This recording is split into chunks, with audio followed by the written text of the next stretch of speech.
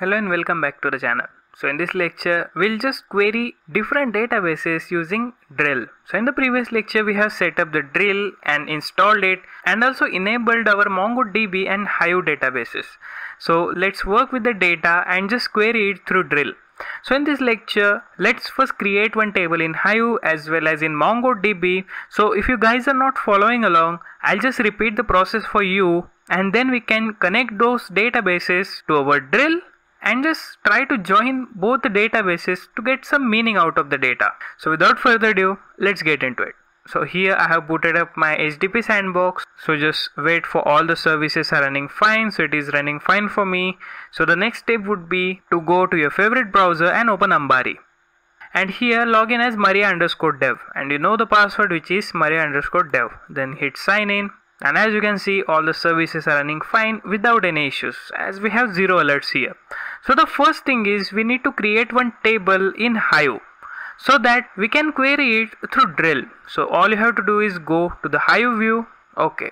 So in the hive we, don't have any database. So we have to first create one database. So we will create the database by using the ddl command and the database name would be movies data. Okay. Execute it. So the query has been submitted.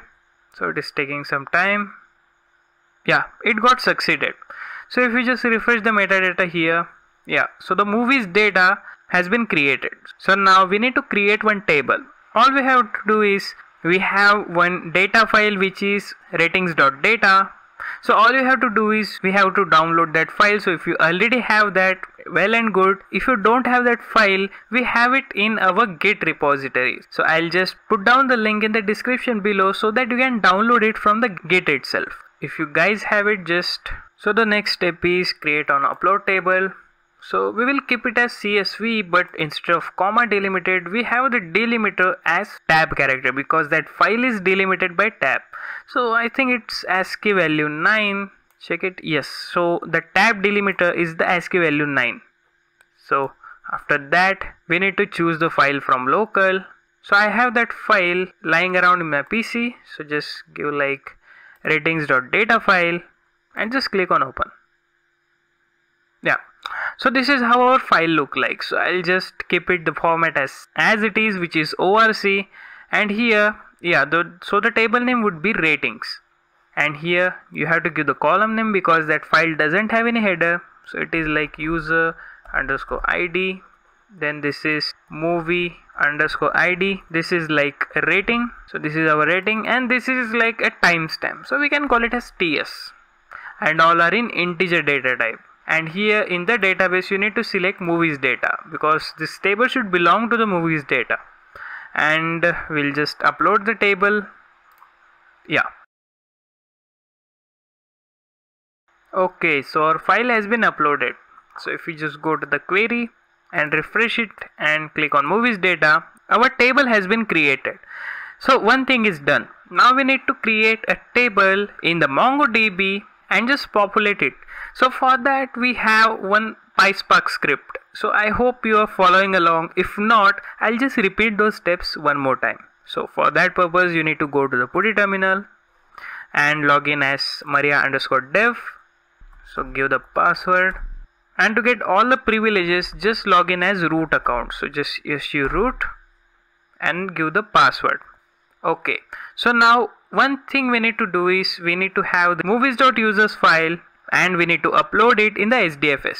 So if you guys are following along and you have the mongo spark.py file in your HDP sandbox then don't worry. So I don't have it because I have cleaned it up. So if you guys don't have that file just follow along with me. So the first thing let's get the file from the github repository.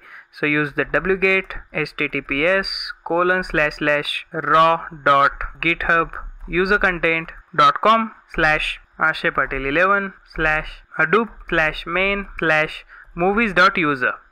That's it. This is our file. Hit enter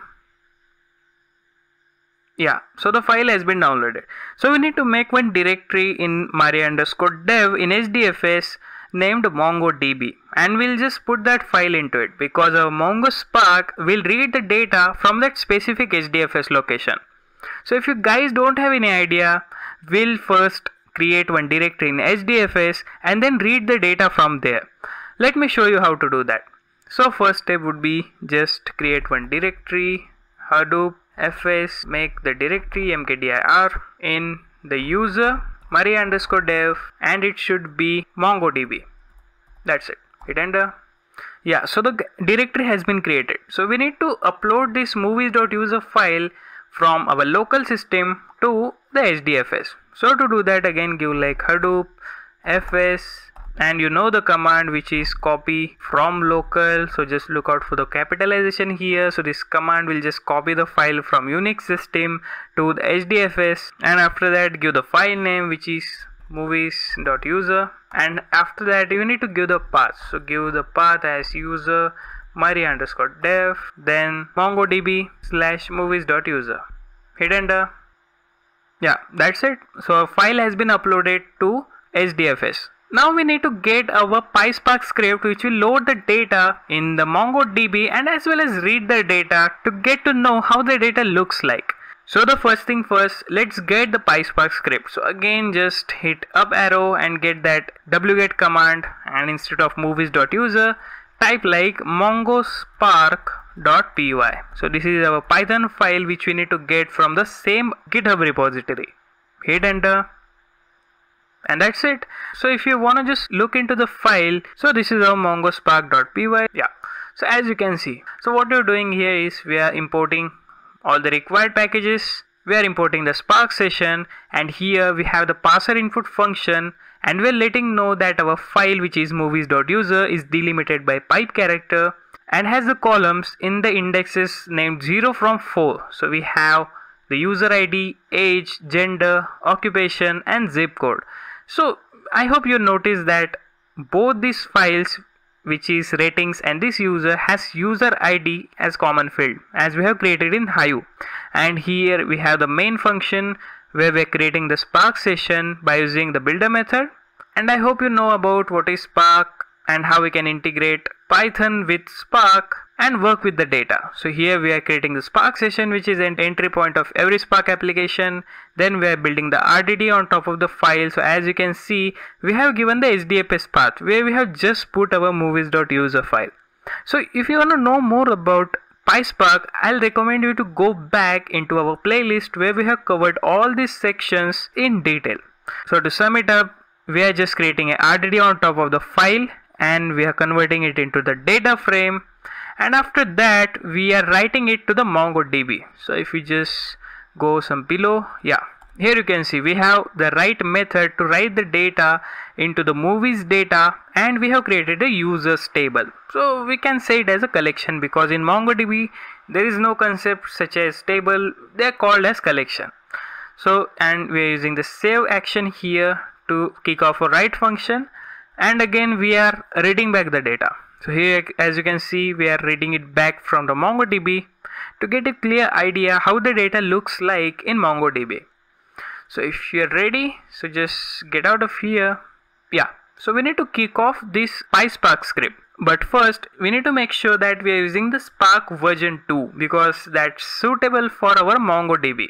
So let's say like export then give like spark underscore major underscore version equals 2 that's it hit enter so we have selected the spark version 2 and now we can just submit our PySpark script by using the spark submit command. So give like spark submit give like packages then give like org dot mongodb dot spark colon mongo dash spark dash connector underscore 2.11 colon 2.3.2 and then give the file name which is mongospark.py that's it so so regarding these packages and why we are giving this here and the versions for that I'll recommend you to go back into our tutorials where we have covered this and we have kicked off the same job. So you'll get clear understanding what's going on under the hood.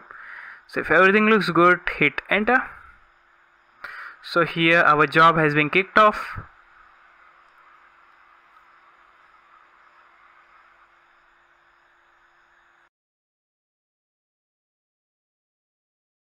so it will just take some time so just get your coffee and wait for it to complete.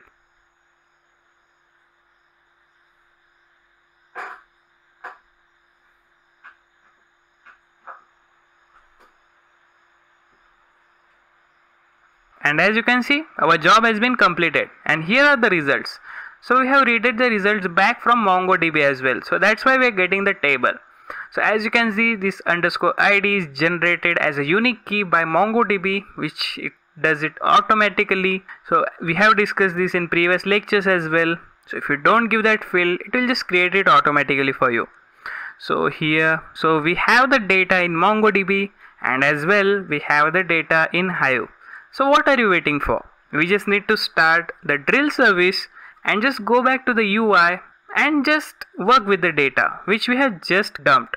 So for that we have the directory which we have extracted in the last lecture. So if you hit ls we have to go to this apache drill directory and here we have the bin directory in which we, have the .sh file we need to kick off on some specified connector which we have discussed in previous lecture so just give like bin slash drillbit dot sh space start and we're kicking it off on dash capital D drill dot exec dot http dot port and give the port name.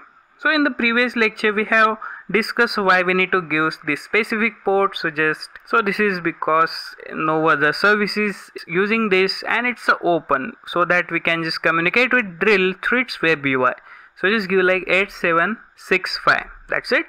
Hit enter. And it's starting the drill bit and yeah it's already started. So just go back to your favorite browser and give like localhost 8765 so just in the newer tab give like localhost colon 8765 so here comes the drill. Hit enter. That's it. So in the previous lecture we have just gone to the storage and here as you can see we have just configured Hive and MongoDB. We have enabled those services and in Hive we have given the metastore path as localhost colon 9083 so just go back to the query now. So here for checking the databases we can give a simple command which is show databases. So just submit the command.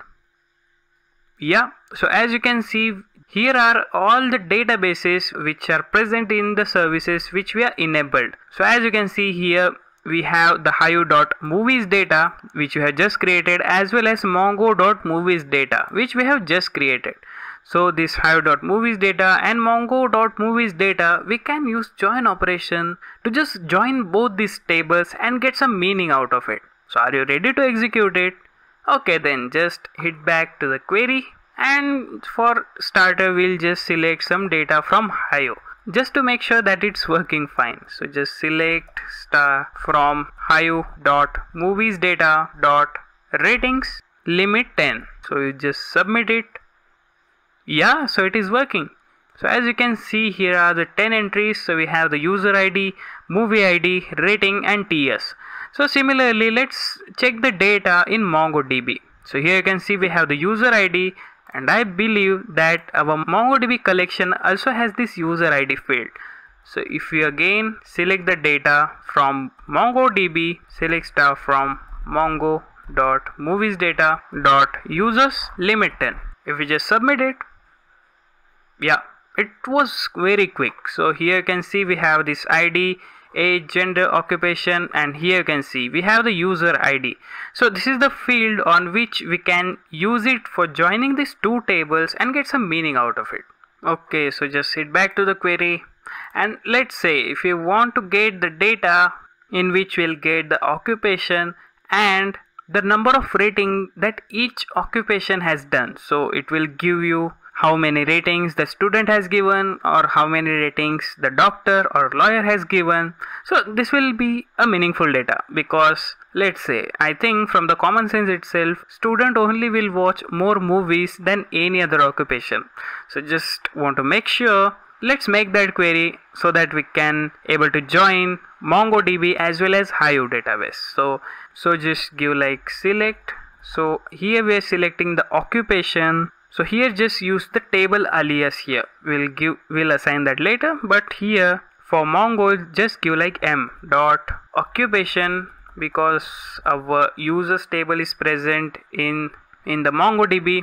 Then we need the count of all the values from and here give the hive table which is hive dot movies data dot ratings and we'll give the alias as h as Hive and we will join this table to our table present in MongoDB database. So give like mongo dot again movies data, give like users and here we have given the alias for MongoDB table as m. That's it. And we are joining on the basis of h dot user id user underscore id equal to m dot user id. So here user underscore id is present in both the tables and we will be grouping it as per the occupation. So just use the group by the occupation which is m dot occupation. So this is simple sql and i hope this is pretty much easy for you to understand. So what it is doing is it will just give you the occupation and the count of all the ratings which every occupation has given from the Hive ratings table and we have joined it to our users table present in MongoDB. So it is pretty straightforward. So if we just hit submit, it will take some time. So under the hood it's joining two databases and that's it. I don't think it was that of time consuming one but under the hood it is doing so much work because we are joining Hive which is kind of a RDBMS which deals with structured data and in MongoDB which is NoSQL database which deals with a loosely structured data and has pre-schema. So as you can see if we just get all the entries and that's it. So here if we just sort it as per yeah the order and that's it. I think that was pretty predictable because let's be honest students will watch more movies than any other occupation. So we'll just do not count these others because i think these people don't mention their profession. I don't know why. And here as you can see we have educator engineer programmer and if you just go to the yeah. So homemaker don't have much time to watch movies so it is very less in this. But uh, this is pretty small data so you can't do a very predictable analysis but it just makes sense. So I hope you like this lecture. So here we have just created one table in Hive as, as well as we have kicked off our mongospark.py which will just write the data into MongoDB so that we can play with it. And also we have just joined these two databases using the drill which is query engine and it's very simple to use. We just need to go into the storage and enable those services which are having on our HDP sandbox and that's it. There's nothing much learning curve to it. If you know SQL you know Apache drill. That's it. You just want to make sure that you know how to connect to the different databases by using the JDBC ODBC connector and you should know the SQL so this lecture was all about creating some tables in Hive as well as creating some collection in MongoDB and we have used drill query engine to just work with the data and get some meaning out of it. We also use the join operation so that we'll get to know how capable is drill. It was so simple to just work with both the databases at a time. But it is not recommended since at the end of the day NoSQL databases still store the data as a loosely structured and Hive stores the data in structured way. So this will not be compatible and if you're dealing with petabytes of data, it will create issues and consume lot of resources. So just look out for that. So if everything is done, so just go back to your VirtualBox and use the ACPI shutdown. So this is one step you need to follow once you're done with all your tasks on the HDP sandbox and I'll see you in the next lecture where, we will discuss about our next topic which is Phoenix. I hope you like this lecture so please subscribe to our channel and also ring the notification bell to get the latest updates. And don't forget to follow us on our social media which I have linked in the description below. Thanks for watching.